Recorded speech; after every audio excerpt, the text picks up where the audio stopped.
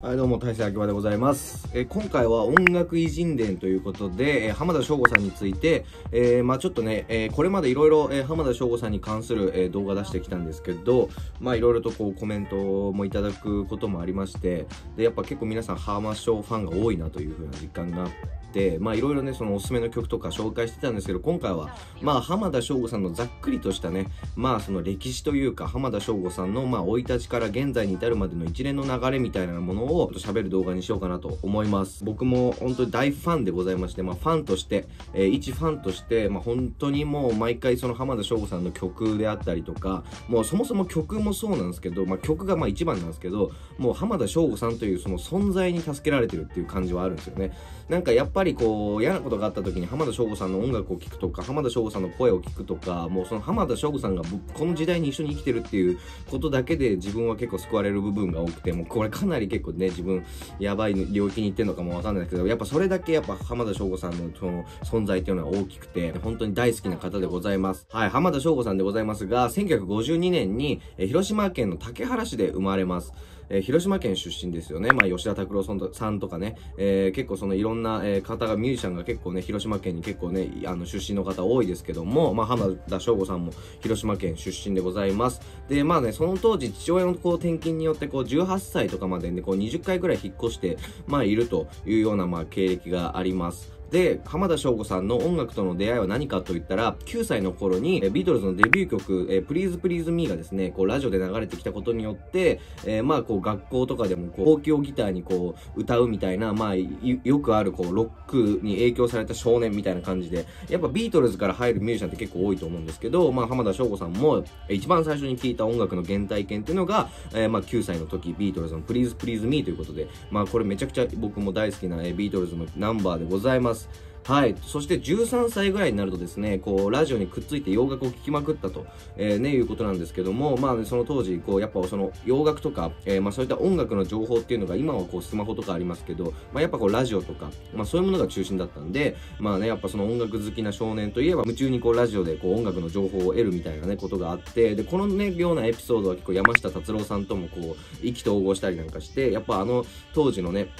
まあそのミュージシャンの方々っていうのは結構そういった原体験があるんじゃないかなと思います。そしてまあラジオでどんな音楽を聴いてたかというとですね、まあザ・ラスカルズとかね、あとまあビーチボーイズとか、まあモータウンサウンドなんかにもね結構ハマったらしいんですよね。だから結構この辺山下達郎さんなんかともちょっと似てるかなと。まあビーチボーイズとかね、あの辺やっぱ山下達郎さんも結構その影響を受けたというふうに言っているので、まあ結構近いものはあるのかなと。で、結構浜田省吾さんの曲聴くと、なんかまあモータウンサウンドみたいな、まあああいったちょっとね、あのアメリカンポップス的なね要素もかなりあって、まあおしゃれみたいな感じもあるので、やっぱりここの原体験というものの、まあちっちゃい頃に聴いた音楽っていうのがこうやっぱ、え長年生きてきてるのかなと思います。で、この当時ね、漫画とかにもね、結構ハマってたらしいです。えー明日のジョーとかがね、好きということでございます。高校時代に入るとですね、えー長子寛治さんと出会います。えーこの長子寛治さん、えーこの後ずっと浜田省吾さんのね、えーもう長いパートナーになっていきます。本当にもうね、もう浜田省吾さんが信頼する、まあ、お互いにこう信頼し合ってるようなもう大切な、えー一人になるんですよ。もう浜田省吾さんにとって。えーまあ、その長子寛治さんと、まあ、この高校で出会うことになります。でね、まあ、その、広島フォーク村とかね、まあ、そのフォークが、あの、全盛期だった頃でもあるので、まあ、そういったイベントにも参加してたりしています。で、野球部に入るんですけど、まあ、野球部のこのきつい練習とかね、先輩とかのこう上下関係とかにね、悩んで、まあ、退部して、退部した後に、まあ、フォーククラブであったりとか、まあ、新聞部とかね、結構そういうものに、えー所属してたらしいです。で、それ以外にも、えーその学生運動なんかにも結構積極的に参加してたらしいです。まあ、この当時はこの社会のあり方とか、まあ、その日本とは何なのかみたいな、社会的な思想というものが、こう、若い人たちの間で、こう、いろいろ火をつけていて、まあ、そういうもので、こう、学生運動っていうのが結構活発化だった時代なんですよね。やっぱ70年代とか、えー60年代後期からね。で、まあ、そのフォークソングっていうのも、ある意味そういった学生運動とか、まあ、そういったその社会的な思想みたいなのがやっぱ含まれてる要因があるので、で、まあ、その当時浜田省吾さんも、まあ、バリバリ学生時代で学生運動なんかにも、まあ、積極的に参加してたと。で、まあ、浜田省吾さんの曲って結構その社会情勢とか、まあ、社会批判とか風刺曲とか、まあ、そういったね、結構社会にメッセージをこう、フォーカスした音楽っていうのが多くて、まあ、そういったその曲が生まれる背景として、やっぱこの学生時代の、に、こう、デモとかに参加することによって、こう、なんかよ社会というものをこう、俯瞰して見てきた、その浜田省吾さんの、まあ、体験があったからこそなのかなというふうに思います。やっぱこうした学生運動っていうものが、やっぱそのね、曲作りの原点になっているんじゃないのかなと思います。はい。そして浜田省吾さんは、まあ結構その音楽の面でもいろいろこうやっぱずっとロックとかを聴いていて、まあポップスとかまあロックみたいな音楽が好きで、なんていうかこの当時から出てきたこうアートロックとかね、まあそういうなんかちょっとその次世代的なロック、えー、なんかはあんまりこう好んではいなかったらしいんですよね。えー、だからどっちかっていうと例えば、えー、まあレッド・ツェッペリンとかね、えー、クリームとか、えー、あの、エリック・クラプトンのね、クリームとか、まあ、地味編とか、あの辺の音楽は結構聴いていたらしいです。と、セッペリンなんかは特に影響を受けたというふうに語っております。そして、1972年に、えー、神奈川大学の法学部にこう一浪して、まあ、入るんですけど、華やかなこうキャンパスライフを夢見てたらしいんですよね。大学生生活を。だけど、まあその時もやっぱ学生運動っていうのも盛んな時代で、こう大学がロックアウトされてしまったりですね、ストライキがあってこう休校になったりとかっていうのがあって、なんかね、なかなかこう、思い描いてた大学生時代とはちょっと違くて、大学は意味がないというふうに思っていたらしいです。大学時代に、えー、長子幹事さんと、えー、高校時代に出会った長子幹事さんとまた再会して一緒にバンド活動を始めるということでございます。で、二十歳ぐらいになった時に大学の正門前にあった下宿で、えっ、ー、と、ビーチボーイズの、えー、サーファーガールにこう影響を受けて、えー、二人の夏という曲を作ります。本当にもうビーチボーイズサウンドみたいな感じで、すごくでも僕大好きでいい曲なんでね、聴いてほしいんですけど、で、まあこれをね、調子幹事さんとかにこう、聞かせたらですね、あ、すごいいいなと、えー、なんか、えー、ウエストコート風のこうサウンドがね、こうかなりいいということで、褒められた体験っていうのが浜田省吾さんの、まあその、モチベーションアップにこう繋がったらしいということでございます。はい。そして、まあ1973年に音楽活動にのめり込んで大学を中退するわけでございますが、まあ両親にはね、1年間だけ休学させてほしいと伝えて、まあ、あの、まあ、辞めたも同然だったんですけど、まあ、両親にそういうことを言ったらしいです。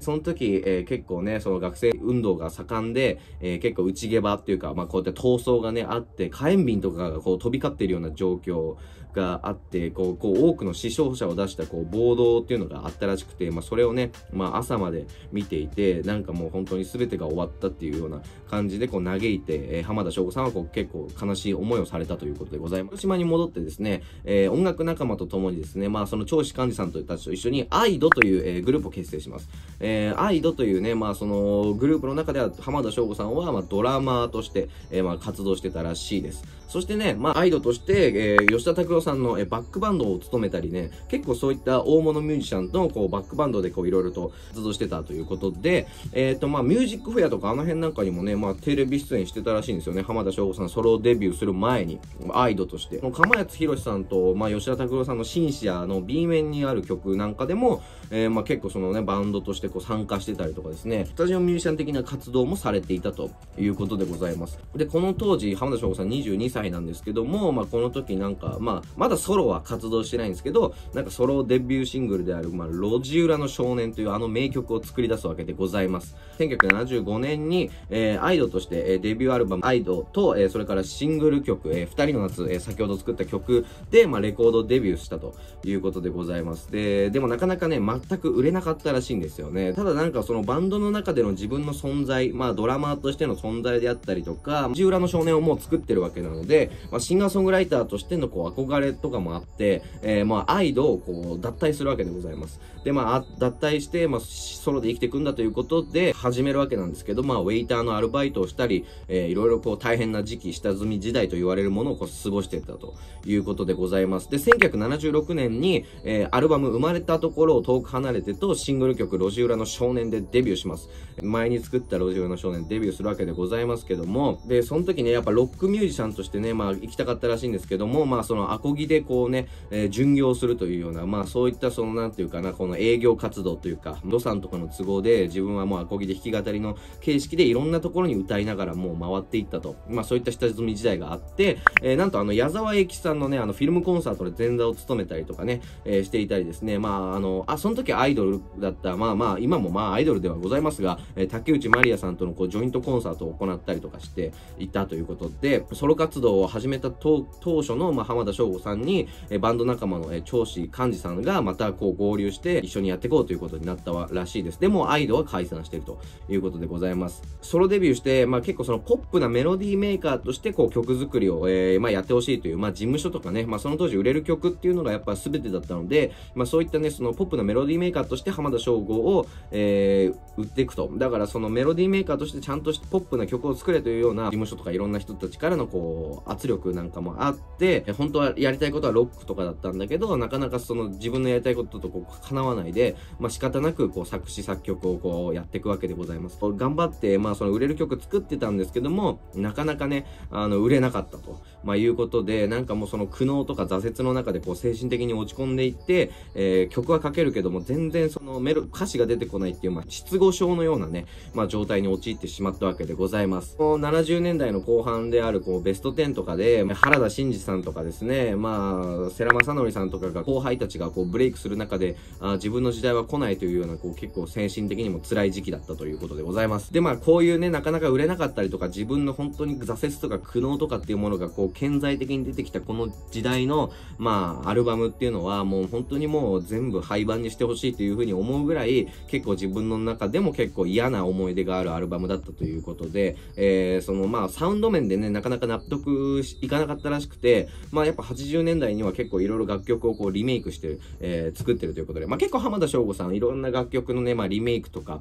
まあ結構多くやってる方なんで、まあそのリマスタリングとかね、まあそういうようなことも影響してるのかなと思います。でも、1979年に風を感じて、えー、まあ日清カップヌードルのね、まあ CM ソングとしてね、書いたその、まあ風を感じてっていうものがこう、スマッシュヒットするわけですよね。ドカーンと売れるわけでございます。このヒットを機会にですね、自分のやりたい音楽っていうものをこう表現していこうというふうに決意するわけでございます。なかなかね、やっぱそのテレビに出る方ではないので、浜田省吾さん。えー、でもまあ、この関係、この当時結構夜のヒットスタジオとか、えー、ヤング OO とかのね、やっぱテレビ出演なんかもしてたりするんですよ。まあ当時はね。なかなかテレビに一回も出て、出たことないのかというふうに思われがちなんですが、まあこの当時ね、ちょこちょこ出たりしてたということでございます。風を感じて、こう、スマッシュヒット行ったんですけど、なかなかね、えー、ここから売れ行きが良くないと海外レコーディングに行っても、なかなかこう、売れなかったんだけど、でもやっぱ自分のやりたい方向性というのが見つかったということでございます。その当時、母親が病気で倒れて、こう、既得状態のこう、知らせがあったらしいんですよね。えー、まあその一命は取り留めたんですけども、まあ半身不随のまあ後遺症みたいなのが残ってしまって、まあその時の浜田省吾さんの気持ちを、まあ、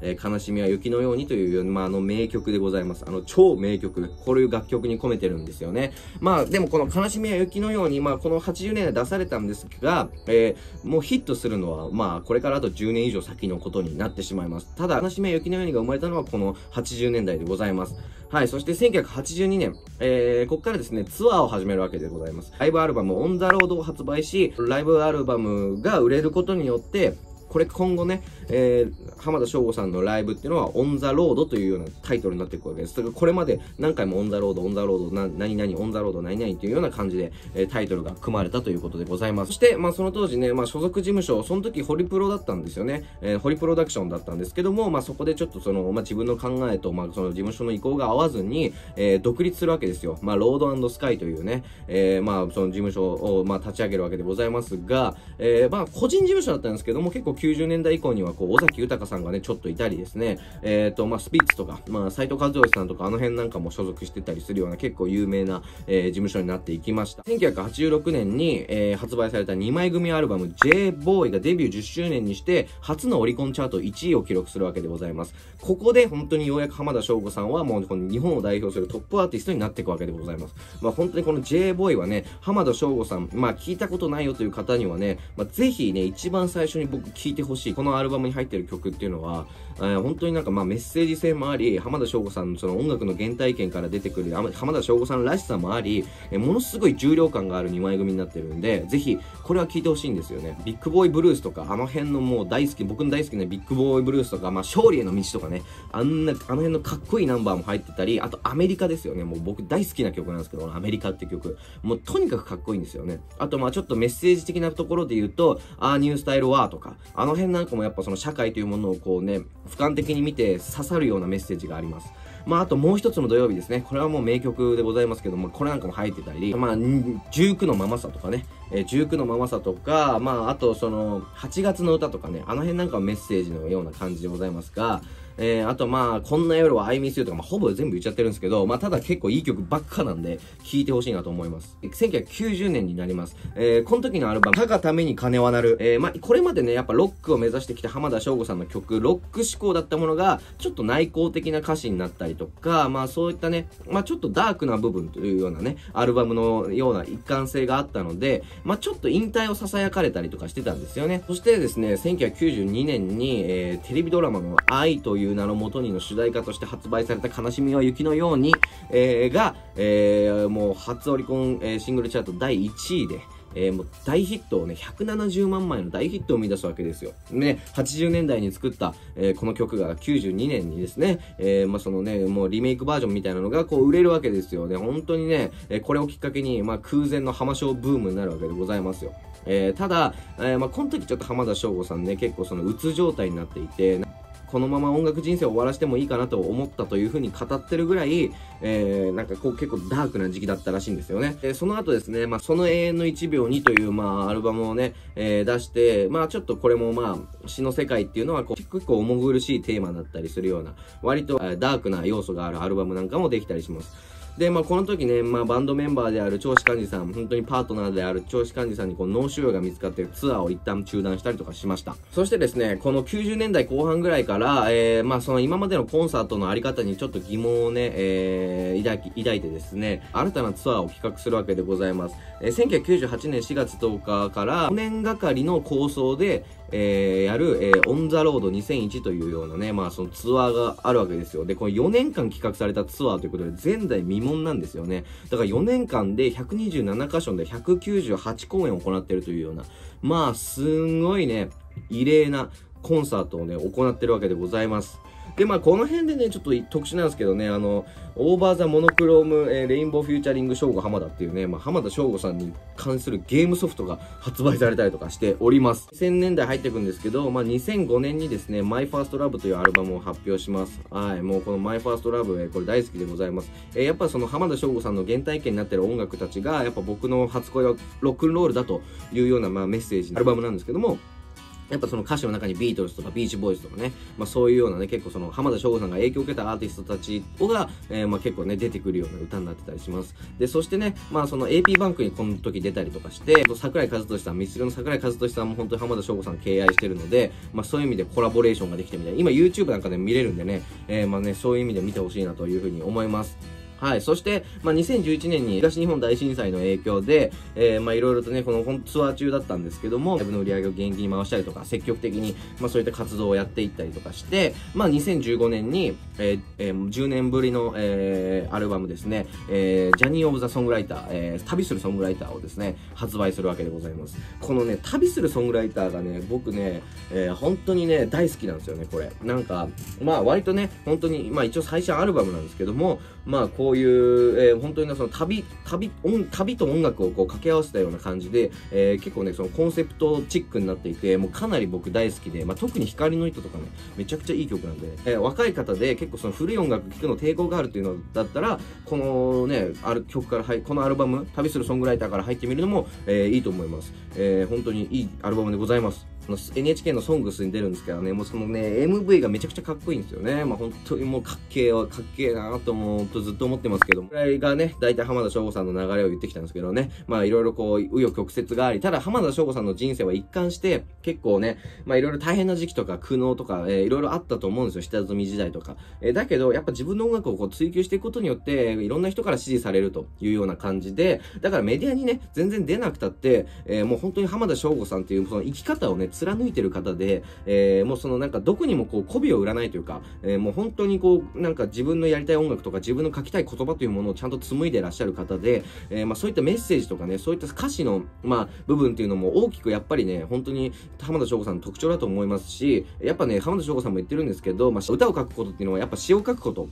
がメインだということを言っていて、まあそれがね、やっぱ確かにそうだなというふうに思うんですが、時代とともにね、音楽っていうのはこうね、生まれてきては、えー、過去の曲になり、生まれては過去の曲になりっていうような、この繰り返しの中で、やっぱその歌詞の中のメッセージっていうのは、まあ、そのいつ聞いても、やっぱその時の、まあ、その情景とかね、その時のこう匂いみたいなのがこう復活させるものでもあるので、まあそういったそのスタンスで曲を書かれてる浜田省吾さんっていうのは、やっぱだから、えー、こんなにも、えー、人が集まってくるし、えー、大人気の、えー、ミュージシャンなのかなというふうに思います。でね、まあ、やっぱこの今コロナの時期とかで、えー、この時代に浜田省吾さん、今、えー、ね、ぜひね、ちょっと僕は曲をね、期待してるんですよ、アルバムとか。ね。なんでね、ちょっと今どういう、えー、浜田省吾さんの、えー、視点でね、今、今の世の中をどう見てるのかっていうのがものすごく今、興味深いこと、ところであるのでね、曲を聴きたいなと思います。そしてね、まあ、もしよろしければ、他にも浜田省吾さんの、えー、動画出してるんで、えー、見ていただければと思います。リンク貼っておきます。ということで、以上です。ありがとうございました。